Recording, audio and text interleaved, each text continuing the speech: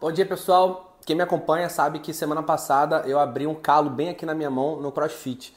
E hoje vou mostrar para vocês como é que eu faço para trabalhar no dia a dia aqui no consultório. Eu pego o micropore, tá? Na minha opinião, o micropore, ele é bem melhor do que esparadrapo, tá? O micropore, ele tem uma, uma camada que deixa meio que a, a ferida uh, respirar, digamos assim, né? E não gruda lá dentro da carne viva, né? Falando português claro aqui. Então eu pego lá o, o meu calozinho que já está fechando, tá? Tava bem aberto, tá fechando. E eu vou colocar o micropore bem em cima da, do, do calo que está em tratamento, está sendo fechado aos poucos. Coloquei o micropore pequeno sobre o calo, né? Que eu tenho que proteger. Logo em seguida eu vou vir com um micropore um pouquinho maior. Esse micropore maior, eu tiro um pedacinho, um pouquinho maior, Peguei o micropore maior, eu vou colocar em cima do micropore menor, protegendo tanto o micropore menor quanto a ferida. Então ele vai fazer uma proteção externa, tá? Ele vai proteger o micropore que está protegendo, é uma proteção da proteção. Ele vai proteger o micropore que está protegendo a, o calo lá embaixo. E eu aperto bem, tá?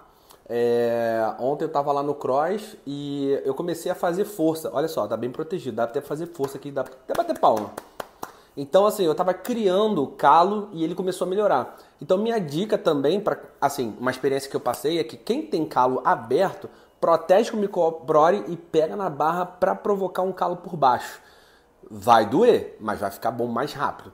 Agora, meu amigo, se prepare para o extrato de própolis, tá? Dói o negócio, mas é aquilo. Menos de uma semana eu já estou conseguindo pegar na barra, fechar, consigo pegar na barra, consigo me segurar. Não consigo fazer um movimento de rotação, porque realmente ele pega essa parte aqui do calo e joga para cima. Então ele faz um, um, um, um redemoinho dentro da ferida. Aí dói um pouquinho mais. Não vou falar que dói muito não, porque né, é, não dói muito, mas eu evito abrir mais.